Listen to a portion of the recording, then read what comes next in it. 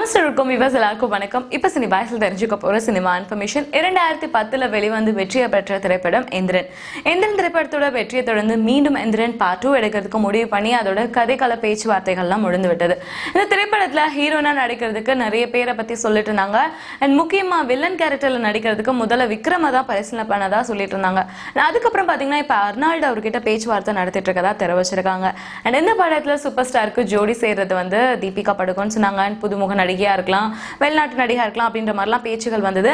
ஆனா இப்போ செய்தி என்ன அப்படின்னா எமி ஜாக்சன் தான் இந்த திரைப்படத்துல ஜோடி சேர்ந்து நடிக்க இருக்காங்களாம் ஐ திரைப்படத்திலேயே தன்னோட அபார ஒரு நடிப்பை வெளிக்காட்டி எல்லா ரசிகர்களையும் கவர்ந்து வளர்த்த எமி தான் இந்த திரைப்படத்துல ஜோடி சேர்ந்து நடிக்க போறாங்க அப்படின்ற மாதிரி தெரிவிச்சிருக்காரு சங்கர் அவரோட தரப்புல இருந்து. அதிகாரப்பூர்வமான அறிவிப்பு கூடிய விரைவில் வெளிவரும் அப்படின்ற மாதிரியும் தெரிவிச்சிருக்காங்க. இந்த மாதிரி சினிமா இன்ஃபர்மேஷன் நீங்க தொடர்ந்து அப்டேட்ல அப்பப்ப தெரிஞ்சுக்கணும் அப்படின்னா தமிழ் டாட் காம தொடர்ந்து பாருங்க.